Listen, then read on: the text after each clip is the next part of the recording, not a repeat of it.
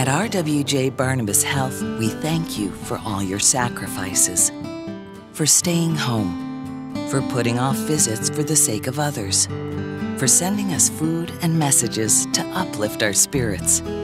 And we thank you, New Jersey, for trusting us to take every precaution as we safely welcome you back. RWJ Barnabas Health. Let's be healthy together.